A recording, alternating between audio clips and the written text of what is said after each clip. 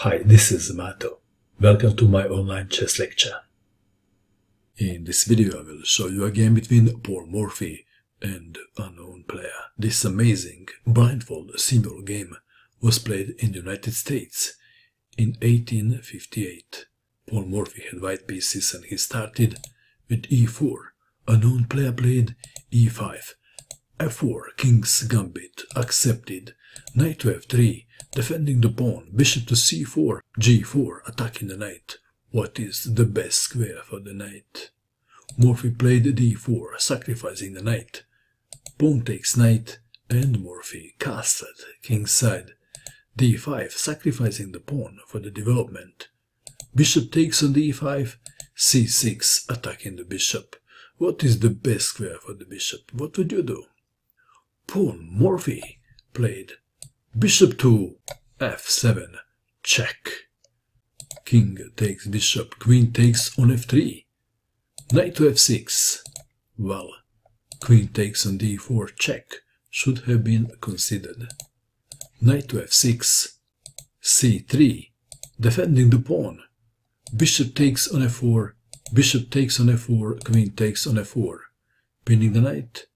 Black to move, h5 was played. King to g6 should have been considered. h5, but now e5 attacking the pinned knight. Bishop to e6, white to move, how would you continue? Paul Morphy didn't rush, pawn takes knight, he played knight to d2. If pawn takes knight, queen to d5, and black king is feeling safe behind the pawn, at least temporarily. Knight to d2, knight to d7, knight to e4. There is lots of pressure on the knight on f6. Queen to e7, pawn takes knight, knight takes on f6, knight takes on f6, king to f8. Why, to move, how would you continue now? Paul Morphy played knight to d5 check, attacking the queen. Queen to f7, defending the king and saving the queen. Maybe. White played a move and black resigned. And the move is queen to d6 check, discovered attack on the queen. Unknown player resigned. What a beauty. Can you believe this was a blindfold simul. What a genius. Okay, let's play a few more moves to see how the game would end. One line goes like this. King to g8, rook takes queen, bishop takes on f7.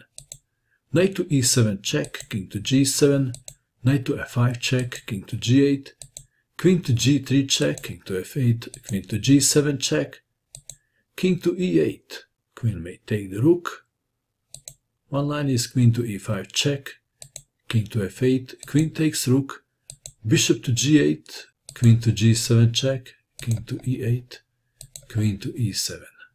Check, mate. Simply brilliant. What do you think of this game? And that is all. I hope that you enjoyed watching this video. I wish you good luck with your chess and bye for now.